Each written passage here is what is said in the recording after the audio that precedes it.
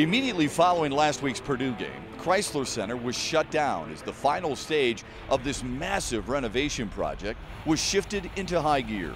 We have 166 days till the west side is done.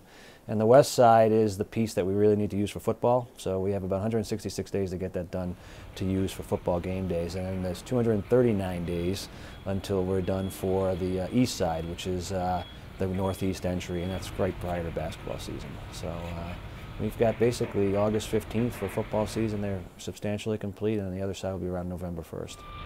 The arena's exterior walls have been removed, so the concourse can now be widened up to 20 feet.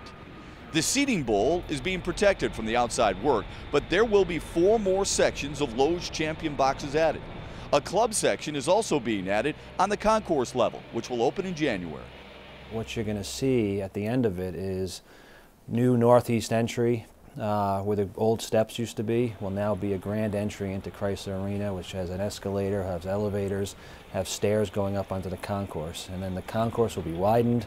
You'll have um, a Hall of Honor area that'll honor all the former student athletes who have been inducted into that. Around the concourse, all new, brand new concessions. All 29 Michigan sports will be showcased on the concourse, while a new television production studio and press conference facilities are being added as well. I think everybody that walked in the arena for the first time at the beginning of this basketball season was wowed.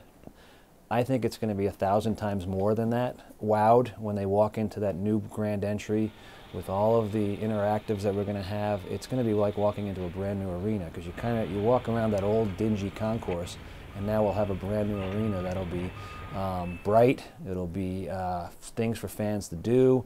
We're going to have a kids area, uh, and so it's going to be uh, something for everybody.